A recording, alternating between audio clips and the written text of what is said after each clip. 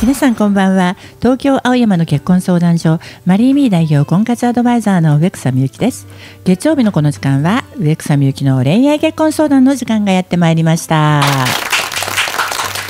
この番組は全国のリスナーの皆さんから寄せられた恋愛婚活結婚にまつわるさまざまなお悩みを解決していく番組です。そしてアシスタントはおなじみの木月玲さんです。こんばんは。よろしくお願いいたします。はい。まだね、はい。梅雨が明けませんが。はいはい、うん。ねうん。長いですね、はい。もう今って真剣交際だったりとかはい。に入ってらっしゃる方、仮交際に入ってらっしゃる方って、はい。まあ雨の日となるとデートもね、なかなか難しいかと思うんですけど、ね、コロナ禍の上にねはい、あの雨の日ですから本当にいろいろと皆さんし試行錯誤してうん、時間取ってらっしゃいますけどね、はい。私この間いいのを見つけたんです。はい、あの四谷三丁目はい、の、えー駅の近くにはい。四谷消防署っていうのがあって、はい。そこのすぐ隣に消防博物館っはい、ていうのを見つけました、はい。こんなとこどうでしょ博物館、博物館とか、はい。そういうデートいいですよね。はい。一旦傘閉じてしまえばしばらくうね。そうそう、うん。だからねこうし博物館巡りでもほら絵画とかはい。彫刻とか、はい。そういうのは今日硬い一歩の方が興味があると、うん。でぐいぐい連れて行ったとしても、はい。連れて行かれちゃった方は興味がなかったら悲劇が起きるんですよ。わかるような気がします。なんか知らないことが悪いみたいな感じになっちゃいますよね。あの一度やね、うんあのこの近所に根津美術館ってあるはい。ねはい。でそこであの一つ二つトラブルが起きましたからはい。そのなんていうの書いてある説明ありますね、はい説明ね、あれを読み違えて男性がお興味が全くないのに女性に引っ張られていって、はい。で知ったかぶりぶりしちゃって、はい、ります。しちゃって、うん。全字を読み間違えて、うん。うなんもう全然覚えてないですよ私。覚えてないんだけど、はい。字を読み違えて平然となんとか時代。よ読み違えた。であの人学がないです。っていうふうにも言われちゃっただから墓穴掘っちゃうからね、うん。興味がないところに連れて行かれる時は嫌だって言った方がいいですね、じゃあ消防博物館とかこう大体同じぐらい知らないいいぐらいで。そう。うん。そうじゃないとね、あの悲劇が生まれますよ。なるほど。でも消防士の彼だったらいいかもしれないですよね。女性がその消防博物館に行くそのも。う。まあね、うん。私ねあのうわ面白いなと思っただけではい。行ったことないんですよ。あじゃあ中はどうなんだかわです。かんない。わかんないんだけど、イメージ的には、あの夏休みに小学生がいっぱい行くのかなっていうイメージですけど、うんあとはねおすすめはあのあれがいいですね。あのあ愛宕神社のはい。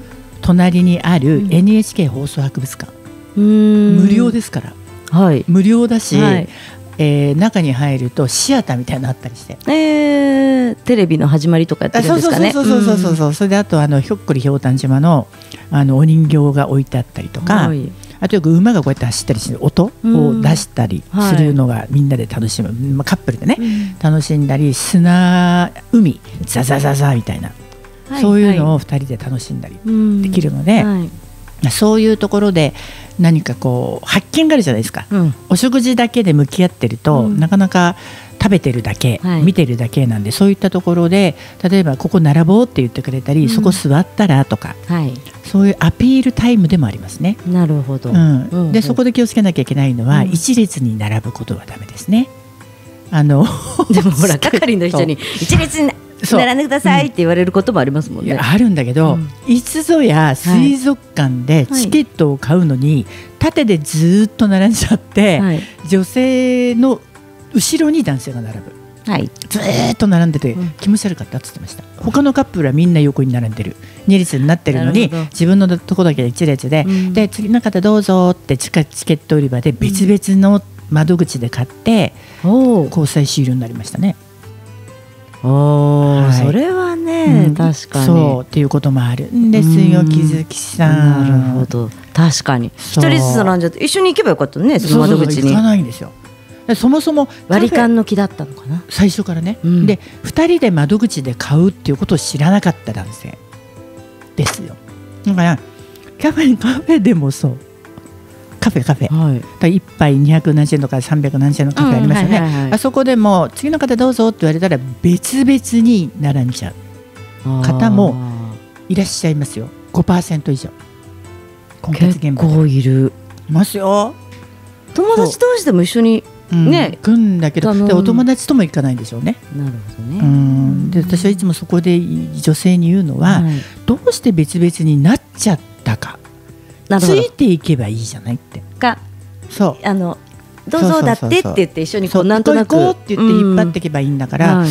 なぜにそれをしあの一緒に並ばないで帰ってきて文句言うかなっていつも思う。なるほど。じゃあデートではそう。解決してくればいい。そう。うん。自分で解決すればいいじゃない、はい。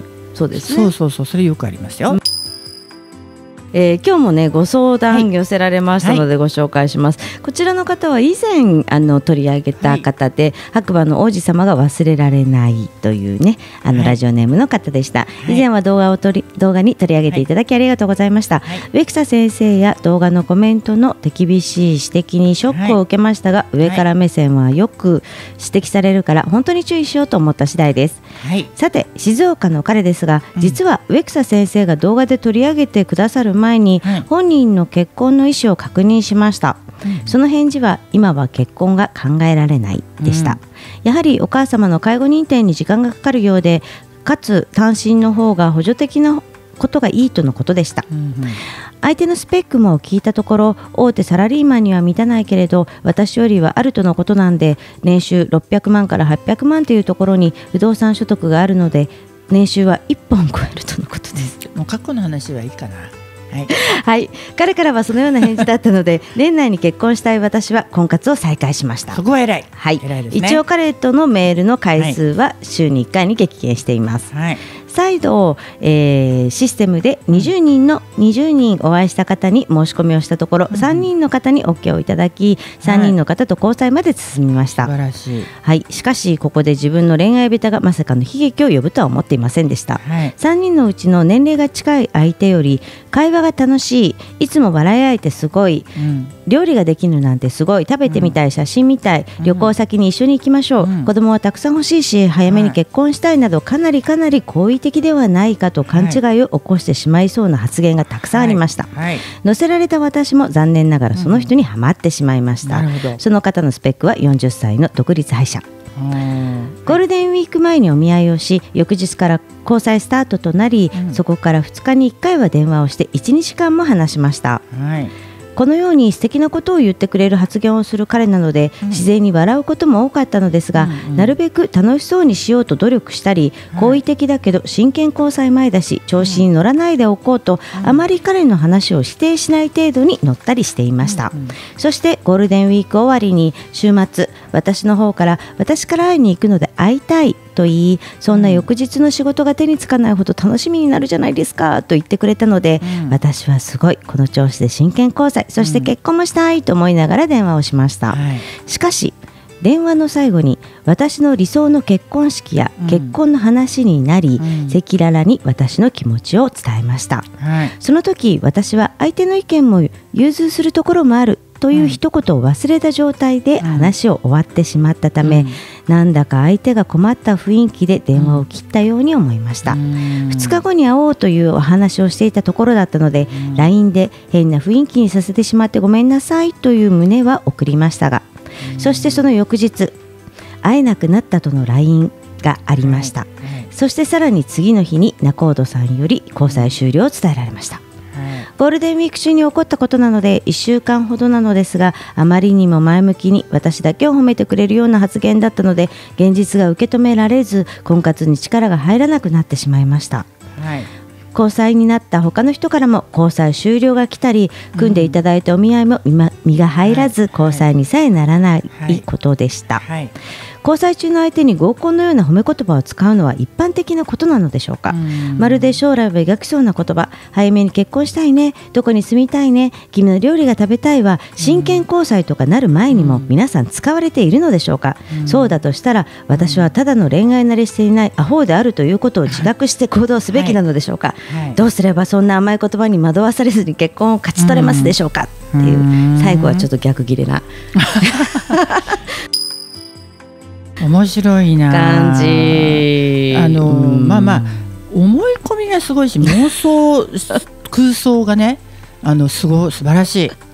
逆を言うと。よくそのお一人を目の前にしてすっごい妄想してはい、空想してすからね。すごいですね。うん。じゃああのなどんな職業にこういう方がねなったらいいかななんて思ったりして聞いてましたけど。あこの方の合う職業、うんうん。まあ表現力豊かなのでね、うん。俳優さんとか合いそうですけどね。あーなるほどうん。っていうふうに思いましたけど、まあ、いろんな質問が飛び散らかってましたが まあまあ、あのー仮交際の間にい。ろんなこう、お話をねぐいぐいと来られる方いますよね。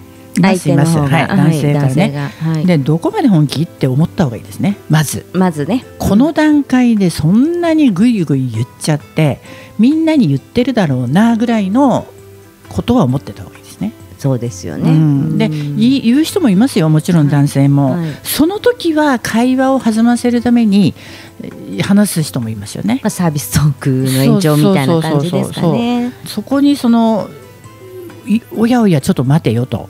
まだ1週間でそんなにってふふって立ち止まった方がいいんじゃないですか、うん、乗せられて乗せられちゃってね、歯医者さんだしなんて言ってね多分その気になっちゃったんでしょうね。そう。ですね。でうん。多いです。実際こういう方。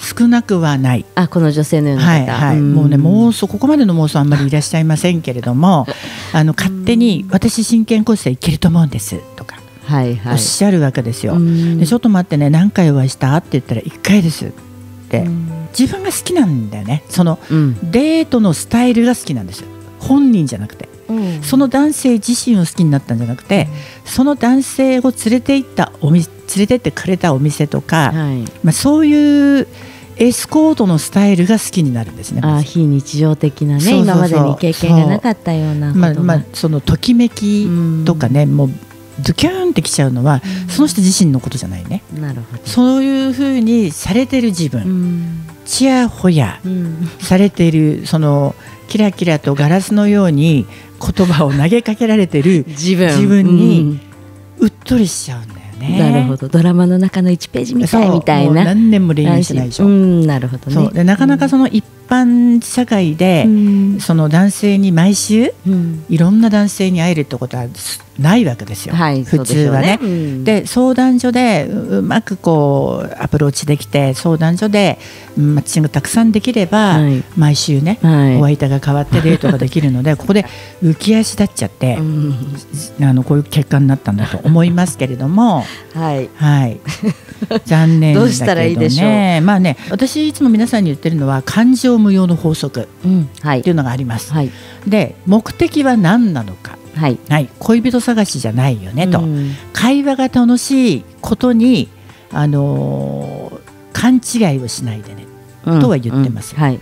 その時楽しければそれが結婚相手っていうのはずれてるんです相当。うん。結婚生活に楽しい会話っていうのはそうそうないんですね、うんうんうん。何十年も一緒にいるわけですよ。はい。何十年もその人と手を取って尊敬し合いながら生き抜いていけるかってことを考えたら、はいかいその場の一瞬の不思議だよね。1週間の会話で、うん。よくそこまで思い込めたなとは思いますけどね。そうですよ。こんな結納がいいとかこんなんがいいこんなんがいいこんなんがいいって言われたらそれ引くよね相ね。誰に言ってるの、こう自分の僕の後ろに何かそういう映画とか うんうん。そういうものが見えてるスクリーンがあって、うん。それを見ながら喋ってるのかなって思ったのかもしれないもしかしたら。この方はおそらく彼の、まあ、サービストークに乗った以上のことを言っちゃった。そうですね。でしょうね,、こう彼女は足並みを揃えてるつもりでも、うん。うん。だからねそのなんて言うんだろうすごく感情的なこ人だとは思うんですよ。はい。もっと冷静に冷静に私はいつも会員さんに言ってるのは感情は入れちゃダメよとそういう雰囲気に巻かれちゃダメよとはい。は言ってますね。なるほど。冷静に判断をしないと結婚相手を見つけるのは目が曇るよ確のは言ってかにブレてきますよね。そうそうそうそう言ってますね、うんだから、その相手のことをたくさんたくさんリサーチして、うん。聞いて聞いて聞きまくって、もうこれ以上出てこないっていうぐらい聞くのってはい。正直何ヶ月もかかるわけですよ。はい、一つのテーマで2時間3時間喋りきれますからね、でそれを聞いてきてくれて私に教えてねって言ってるんですよ、はいはい。そしたらその男性の生い立ちから、うん、人となりが人となりが、ますよね、うん人間関係とかお金の使い方とかね目標とかね、はい。将来性とか大体判断ができる、はい。からその相相手と楽しんでる場合じゃないよと言ってます。楽しい楽しいなんて婚活においてあると思ったらお間違いよと。リサーチリサーチリサーチそしてちょっとだけアプローチっていつも言ってるんですね。なるほど、うん。あほうほうほう聞いて聞いて聞きまくって自分の情報はちょぴっとでいいよと。そうですね。この方ふんだんに出しちゃったみたいですすからね。ごいよね。多分その男性もうびっくりしてると思う。もう逆に怖怖くなっちゃったかもしれない最後にその一言でね、うん。あのお相手の意見も融通しますじゃ済まないよね、そうですね。い言いたい放題言ってね、そう。うん。そも融通ど言った内容はねちょっとね今ご紹介しなかったですけど、うん。結構もうじゃんねんじゃんもう前のめりですもんね。それはねあのお家の中でお母様とかに言ってればいいの。友達同士とかに、はい。夢ドリームはね、うん。ドリームは私が結婚するときはこんな結婚式したいのあんな結婚式したいのドレスはこんなの着てエンゲージリングこんなのもらいたいのっていうのは心の中に秘めておくことで、うん。それを叶えてくれる相手に相手かどうかはまず見定めてないし分かってないのに1週間でそれを言ったらもう,、もう怖いですよ。そうですよね。本当そう思う。と思うよ、うん。で戻らないよね。だから、えー、と彼女が知りたかったのは何でしたっけ？いやだからこう褒め言葉を使うのは一般的なんですかっていう、一般的一般的 質問がこれでもちょっとずれてるんですけどね。一般的だよね。だってリップサービスっていうのは好かれたいからね世の中に相手もそう世の中に存在するわけだから、はい。それを自分がはい。ご自分で見極めなきゃダメってことだよね。はい。でその真に受けちゃうっていうのが、うん。ある意味怖いよね。うん。そのまんま真に受けて。うんだかちょっと妄想までしちゃって。もうすぐまでしちゃってすごいよね。まあまああのご本人も恋愛不足なのかなっておっしゃってるんで、まさにそうだと思いますよ。はい。どうすれば甘い言葉に惑わされずに結構勝ち取れますか？言葉でその左右されちゃうんでしょうね彼女ね。はい。それがすべてだと思っちゃう。そう言葉にはね正直何の意味もないはい。言葉じゃないんですよ、うん言葉じゃなくてご本人の頭の中がどう考えてるのかなっていうのをリサーチしていかなきゃいけないんですよ。はい。本音はどうなのっていう。うんうんうん。言葉は飾りだから。本音なんですよ。本音を知ってために探らなきゃいけない。なるほど。じゃあ先ほどおっしゃったリサーチリサーチリサーチちょっとのアピール。っそれでいいんです。ていうところで。はい。はい、今度はねまたね怒られないようなね、はい。ご相談また新たなねご怒ってないです相談が。そうですね、うん。じゃあこう妄想は現実を言ったの またね、はい。お待ちしておりますので、はい。お願いいたします、はい。ウェクス先生はたくさんのコラムを書いておられます、はい。東洋経済オンラインからは激変日本の結婚。講談社ウィズオンラインからは婚活戦略女子。こちらは毎週水曜日に記事がアップされます、朝日新聞テリングヤフーニュースなどコラムを書いておられます。そしてニコニコ動画を始めました。ウェクサみゆきの恋愛婚活学チャンネルです。各週木曜日のはい。20時からはい行っております,、はい。ぜひ登録してご覧くださいはい、そろそろお時間ですね。お相手は植草みゆきでした。ではまた来週この時間をお楽しみに。ごきげんよう。さようなら。